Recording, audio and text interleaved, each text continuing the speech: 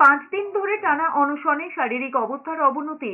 অনিকেত মাহাতোর প্রভাব পড়েছে কিডনি লিভারে। এফেক্ট পড়তে পারে ব্রেনেও। মেডিকেল চেক পর এমনটাই জানিয়েছেন আরজিকর মেডিকেলের চিকিৎসক সৈকত নিয়োগী। তিনি জানিয়েছেন, ইউরিন টেস্টে কিটোন বডি মিলেছে। এর জেরে কিডনি, লিভার, লাংসের ক্ষতি হতে পারে। পাশাপাশি ক্ষতি হতে পারে ব্রেনেরও। আরজিকর মেডিকেলে প্রস্তুত রাখা হয়েছে আইসিইউ।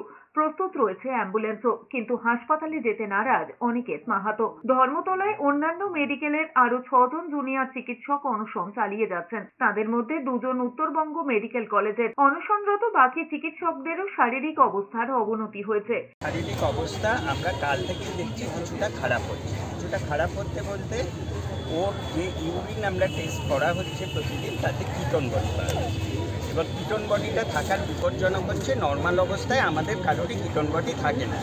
যখন আমাদের গ্লুকোজের ডেফিসিয়েন্সি হয়, সেই সময় লিভার গ্লুকোজ না পেয়ে বা গ্লাইকোজেন না পেয়ে কিটন বডি তৈরি করে। কিটন বডি থ্রি প্লাস একটা মেডিকেল এমার্জেন্সি এইসব ক্ষেত্রে আমরা পেশেন্টকে আইসিইউতে রেখে ট্রিটমেন্ট করি।